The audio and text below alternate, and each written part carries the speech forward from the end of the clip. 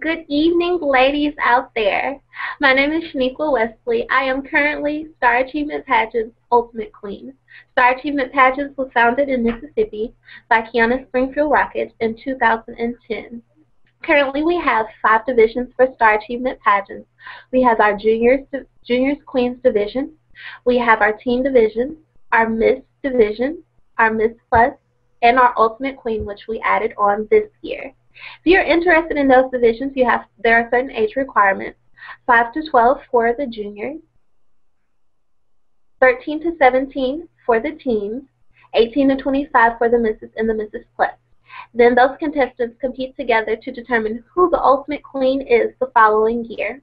If you're interested in finding out information about Star Achievement Pageants, please visit our website at starachievementpageants.webs.com.